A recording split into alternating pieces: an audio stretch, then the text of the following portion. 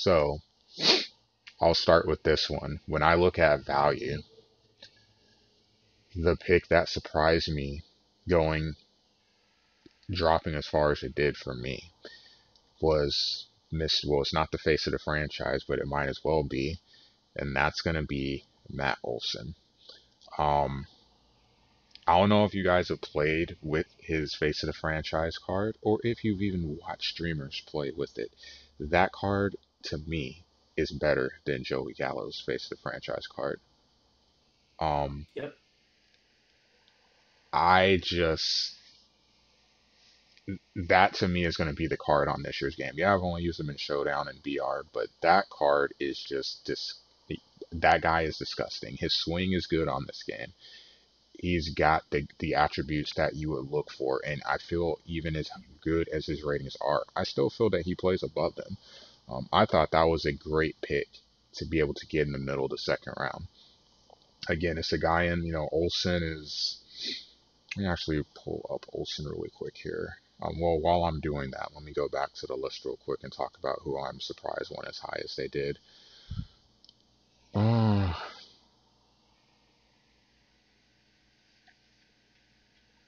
I think uh I think that it was really interesting to see Josh mm, Donaldson go up as high as he was. You know, great pick. I think he's a great player. But um same thing, right? He just had he just had one of his one of the best like resurgent years of his career, but like you were talking about earlier, is that his ceiling? He only gives you defense at third base compared to, you know, other players that were taken below him. Look at, you know, Shohei Ohtani. Look at Starling Marte, who gives you great defense in multiple positions in the outfield. I was very surprised, but I think that's kind of going with the meta of this year. The the power meta is back, especially with Perfect Perfect. That if you feel mhm. confident with the player, I could see it, but I was definitely surprised to see him go high second round. The one for me is going along those lines. It's it's just hard for me to. He's got raw power, but when we talk about ceilings and floors, a very interesting pick to me was Quack Pack taking Mr. Stanton in the second round because he Mm-hmm. just hasn't been healthy. If he is not able to get somewhat back to his, like at some point, his rating is going to have to go down. Yeah. I, I feel um, if he's not healthy for a decent amount of the season, or when he does play, if he doesn't play well, I feel like he has to. Um, I know it's a three-year average. You know, some people were really kind of surprised to see he was rated as high as he was. I feel like that three-year average kind of helped his rating stay up. Yep. But he's definitely at, to me, he's one of the first on the chopping block. If he comes out the gate slow, I feel like he's going to drop. Now, I won't say like, you know, harshly, but he's going to start that decline. And once your rating does drop, I, you know, from my experience, it feels like once that decline starts, it's hard to be able to get those get that rating back. I mean, Mm-hmm. Ramirez had a ridiculous second half of the season after playing like complete garbage for the first half, and it took a just crazy second half for him to be able to just sneak back into diamond range, diamond level. So I thought that was a thought that was a a, a tough pick. I mean, there's you have the power now, but with the second round, I feel like your first three, maybe even four picks should be staples. You need to be what you are. You have to be an effective key component in my lineup, in my rotation, in my bullpen, whatever you're being picked Mm-hmm. for. And that just kind of scares me um, that potentially, you know, that's a second round pick. And if he starts to drop, the value on that goes hard. And not only does it go hard, but you also lose value in being able to trade him too. Yeah, high risk, like we were talking about high risk, high reward. If if you're able to if he's able to maybe this helps him, right? The the break helps him and he's able to come back and, and crush the ball. Boom, you get him kind of a steal for where he dropped, but at the same time, he comes back and you know, not running for a month or two when he when he warmed up for spring training, he tears something or or pulls something, and then boom, he's out even longer. I 100% agree with you, and I'm a Yankees fan. There is nobody out there except for David that believes in uh, Giancarlo Stanton more than me, and I, I want to see him do well, but completely agree with with all of the concerns that you have. And I'm just gonna let throw one, two other guys out there just to hear your opinion. So this is not a the fault of the player because I thought that this was a solid pick, but I wish he had more value than he did. So the 29th pick in round two um, goes to Padres fan, and he takes Yasmani Grandal. So here's my thing about Grandal. I think it's a great pick regardless. But I wish he had more value than he did. If pitch Mhm. framing was something that was in MLB the show, this dude easily goes first round because the effect that he has on your your rotation and your pin. Not just the bonus, and yeah, we all know he's extremely slow, but he's got some pop from both sides of the bat. Um, and you don't, as a catcher, there's some things you just can see. Like, can you block the ball? Can you throw the ball to second base? I'll live with anything else. Not only does he do those things, he gives you contact from both sides, gives you that flexible bat that you can move, you know, throughout the lineup wherever you feel comfortable having him. But man, if pitch framing was something they had in the game, this guy would be amazing. Just imagine having an ace and getting a bigger strike zone just because Yep. you have him. I might have picked him first round. I mean, not even just with your ace. We're, we're talking about the the 25th round, right? Let's say that somebody, I'm just going to pick a random reliever, Adam Ottavino is for some reason there and, and he's having a bad year. Could you imagine if you get that extra inch or two out there with his slider, right? He might have been my first pick. Pitching is the most important thing to me when I play online. Now, custom leagues, I'm treating it a little bit different with the uh, with the draft, but if you can have somebody that not only affects every single pitcher that you have, but also gives you switch hitting ability and pop, I I agree. I wish he had more value because that is a that is a steal of a pick. Even even at where he got him, I was strongly considering taking Yasmani Grandal. I went with uh, DJ instead just because I wanted an infielder more than I wanted a catcher. I looked at the catchers that were still available, and you know what a pick. I- I'm definitely agreeing with you. If pitch framing was a thing, he would be he would probably be like an 89 overall. Oh yeah, most definitely. And then the last guy that I just wanted to throw at you just to hear your opinion. So this is an interesting one because my understanding is he only can play one position. You can't put him anywhere else. Now that's not to say you Mhm. couldn't pinch hit with him and put him in. But Ohtani. Now I've run into him a couple times, well, more than a couple times in events. He's an interesting one, and here's the reason why I'm going to bring this up.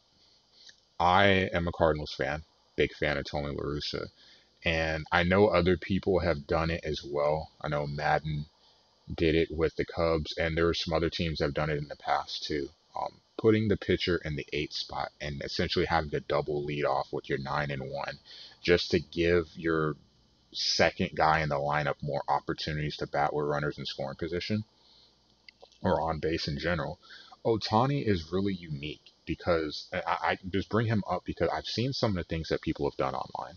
I've seen people bat him fourth and build a realistic lineup thinking, okay, like you think I'm just going to put him fourth because he's got pop. No, I'm putting him fourth, but I'm building my lineup in a way that if I had to take him out, I can still be successful. It's just the the spots are at different, you know, the power and the contact are differently made. I've seen some really unique lineups with that. Um, since he's off the board, one, was he ever under consideration for you? And two, if he if you did have him, where would you bat him in the lineup? What spot would you put him at? Yeah, so those are those are great points that you bring up and a, and a great question. So I Ohtani is on my team, my Diamond Dynasty team. I have the face the franchise card. And I was definitely considering taking him in this draft, but I've been struggling with him at the plate a little bit. He does not hit lefties very well. And that was really kind of the nail in the coffin for him. I need I need my lefty batters, like you're talking about. They have a lot of pop usually, but I need my lefties to be able to get that lefty on lefty crime, and I simply wasn't getting it with him. I agree. I think that he gives you a very dynamic option. He's he allows you to create your lineup in a different way. I have played around with him in the events, making weird lineups, trying to see how he plays, trying to construct it like you're saying with with a contact guy immediately after him so that if I do replace him, I basically just restart the order. Mm-hmm. Definitely definitely an interesting player. I I know that Blue says that he is going for hitting right now. That was why he picked some of the players that he did. And I mean, name a better hitting pitcher than than Ohtani if that's what you're going for. I think it, it gives him a lot of um, a lot of ability to manipulate his lineup, like you're saying, the ability to pull him in as a pinch hitter. That also is one of the reasons why I stayed away from him. They talked about the event energy. They talked about energy a lot this year, and I genuinely don't know how calling him in as a pinch hitter affects that, which is why I, I didn't go for him because I could totally see him being a an extra lefty bat in my in my bullpen essentially, but I just don't know how how that plays. I don't know how the game mechanic works of pulling him off the bench and if that affects his energy for the next game. Um, I think that it's a, a great pick. I think that if you're looking for a good starting pitcher, just purely as a starting pitcher, he gives you a very good fastball, a very good slider, a very good uh, split finger fastball. So great pick on that. And then depending on what he what he's able to give you as a bat, that's just a bonus. Uh, my main concern, like I said, his ability to hit lefties and how exactly the energy was going to play were a big reason why I, I kind of stayed away from him. Was he ever on your radar or? Um, I'm not gonna lie, he was, but only that way I know no one else would use him. Because I just um, there's some players, um, because he's a unique one. I liken it to, and this is no knock on Blue at all. So Blue, if you're listening, well, when you listen to this, don't take it, don't take offense to this, but it reminds me of playing Madden growing up and people playing with the Falcons online. Like I took Vic because we had to have rules in place of what you could do at running quarterbacks, and I felt when you have a toy like that, the shiny toy, sometimes the shiny toy gets you in trouble because I know that I um don't run with the quarterback, at least not like people generally do online, it would never be an option. I've seen that on, you know, recently with Lamar Jackson on Madden, where people like, hey, there's rules in place, and people just defiantly break the rules. Like, why would you? Why would you limit him because he can do this? Like, well, this is why we have rules in place because it's not because of necessarily the play style; it's the way the game's made. Um, mm-hmm. Um, so I thought about it from that standpoint. he's in good hands. But yeah. initially, that was my thought of I don't know everyone in the league, so I don't want him to potentially get someone in trouble. Mm. So that's one of the reasons, like, you know, I almost want to take him early just to be able to keep other people out of trouble. That was my thought. But to Here's use a... him, not so much. Here's another interesting player. I don't know if he's in the custom leagues. I think he's a free agent. But uh, hypothetically, I and this is because I don't think he's in. Hypothetically, oh, yeah. how do you treat up. Pat Venditte? Yeah, how would you treat him? I I might go for him honestly. I wouldn't. I'm not gonna lie. I would. Mm-hmm. just because of how annoying it would be with the given the. So I've I've talked about it some. The three batter minimum. People here are the three batter minimum, and they take it to literally at its words when that's not always the case. The key is you come in the game and you face three batters as a minimum if you are unable to get out of the inning. Yep. So for me, that changes the way that I bring in certain players, whether it's righty or lefty, but it also has an effect on how I do my lineup too. There's some spots where I'm kind of okay with doubling up because the odds are I know I'm going to get a righty at some point later in the game. Do I feel comfortable hitting righties with these guys? If I do, cool, put them back to back.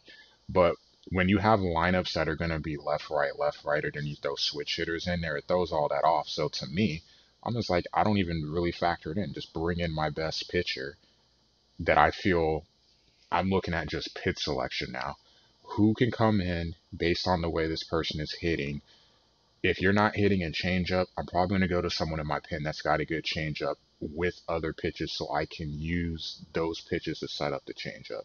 Or hey, you're having a hard time hitting a slider well, you better believe I'm bringing in a guy that's going to throw a slider, whether it's in, you know, lefty lefty or righty righty switch, Here comes whatever. Andrew Miller.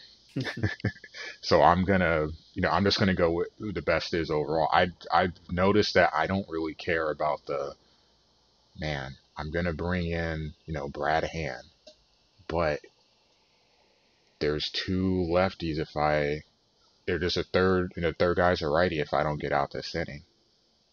I don't care. Like I'm just gonna you know do what I have to do. Bring in the proper guys, get those outs, and you know whatever happens happens.